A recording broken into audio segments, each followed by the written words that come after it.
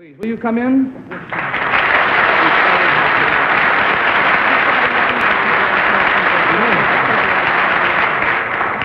Now, panel, for reasons which will become obvious, this gentleman on my left will be known as Mr. X. I will tell you this, however, that he is from Wales. He is a Welshman, and also he is a musician. Uh, sir, will you tell us what your name is and where you're from? I'm Karl Schenzer, and I'm from New York City. Karl Schenzer of New York City. Now, both of these gentlemen have related secrets. So, uh, Mr. X, if you'll whisper your secret to me, we'll show it at the same time to the audience at home. Yes, I know.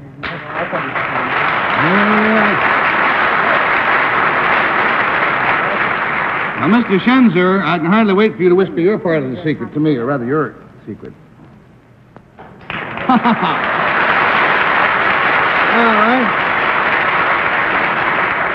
Panel, to help you classify these secrets, the clue concerns something that he did, something that he did, and we'll start the game with Bill Cullen, please. Uh, first of all, Mr. Schenzer, I'll start at the left. Did both of you do the same thing, primarily? Uh, no. Mr. X, did the thing you, uh, the thing that which you did, did it have anything to do with music? Yes. Uh, did yours have anything to do with music, Mr. Schenzer? Uh, yes. Mm-hmm. Was it, did you compose something, Mr. X? No. Play something? Yes. Did you play something similar? Or let's say, did you play the same thing, Mr. Schenzer? No, that's incorrect. Do you both? Uh, $20 down, $60 to go. We go, please, to Betsy Palmer, who looks most thoughtful. Um, does it have to do with the instrument, Mr. X? Uh, the instrument it is, is, is not uh, is not divulged in the secret. He couldn't have done it without the instrument, but it has No. nothing to do with the instrument itself. But it is a regular musical instrument that this music, uh, that what it had to do with. It, was it in the playing of the music, Mr. Schenzer? Was, was his participation in the playing of the music? Yes. Was both of their participations? No. No, it wasn't for you. How about you, Mr. X? Yes. Have to do with your playing. Yes. You played something, and Mr. Schenzer received it in a strange way. He received it. He received it. He received it, but not in a strange way. If you're thinking, you know, did he listen to Well, it did Mr. a... X play this in Wales, say, for instance, and did Mr. Schenzer receive it somewhere else in the world? No. No. All right, we've lost $40. We have $40 to go. I detect the glint of knowledge in Henry's eye. Well, that's a lie. Mr. X, did you record this? No. Did you do it on um, radio? No. Was Mr. Schenzer in the area when you did it? Yes. Was he in Wales? No. Did you do it in this country? Yes. And he was in the same room? Yes. Now, Mr. Schenzer, did you write this thing? No. We've lost $60 and have only $20 left. And Bess, you think being you a lost, musician? lost me. Does it have anything to do with endurance? Yes. Mm-hmm. Because I read recently in the paper that there was a very short composition that was played Oh, 820 800 times, times or something. And were you two involved in that playing of that piece of music? It was the piano. Yes? I think that is close enough. Will will give him the entire $80, and I will tell you, panel, that this is John Cale, a composer-musician who last week performed in a concert to end all concerts. What was really unusual about this particular concert? Well, the performance took 18 hours. 18 hours and 40 minutes, to be exact.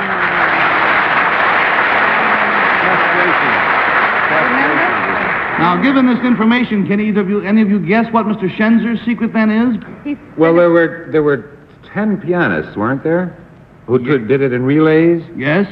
And he must have, I think, a pianist played, and then he sat back to time the next fellow. So he must have been there the whole 18 hours.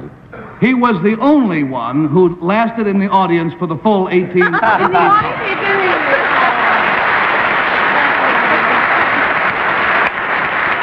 There were, of course, other people in the audience from time to time. Some stayed an hour, some stayed for 10 hours, some left and then came back.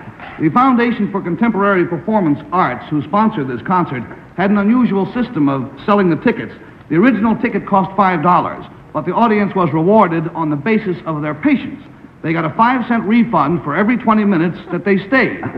And Mr. Schenzer was the only one who collected the maximum refund of $3. Well, Mr. Schenzer, surely this refund wasn't uh, sufficient inducement to keep you there all that time. Uh, no, Garry, it wasn't. Uh, actually, it was quite a simple reason. I just wanted to give myself to the compos- composer's work, for that was the only way in which I could judge it. And I would like to say that I feel it was an extremely important concert because this concert was sponsored by the work of several artists, painters, and sculptors who feel that the contemporary performing artist is not receiving a share in American culture today. And they, out of their own funds, gave their money to have this concert sponsored. Uh, Karl Schenzer feels very deeply about this, uh, perhaps uh, not only because it is true, but because he himself is an actor appearing off Broadway currently in a fine show called The Brig. Uh, did you find yourself going to sleep at any time, Karl? Uh, two or three times I was close, but not really. Well, getting back to the concert itself, Mr. Cale, as you say, was one of a team of ten pianists who worked as a relay throughout the night and day. And may I see a copy of the music that you performed? Certainly. This is it? That's all the music material. That's the whole thing. How come it took 18 hours and 40 minutes to play this?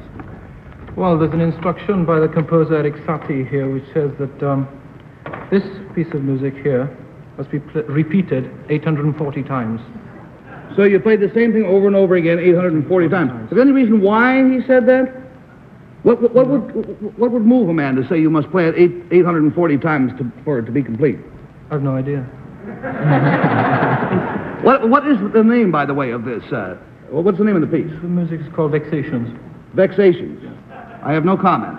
The thing that delights me was that there were about 75 people in the audience of the Pocket Theater when the music was played for the 840th and last time. And when the 10 pianists came out on the stage to take literally what was an ovation, some enthusiastic person in the audience actually shouted, Encore!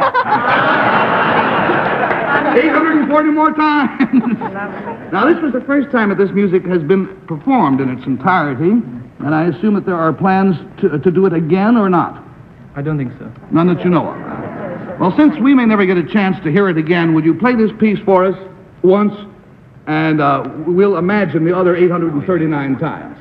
All right, fine. If we can open the curtains, we will have Mr. Cale's piano. Uh, Mr. Schenzer, you think you can stand to hear this again? I'd love to. After hearing it 840 times, can you hum some of it to us? Mm, I'm afraid I can't. No. All right, well, now let's hear one, one 840th of this composition.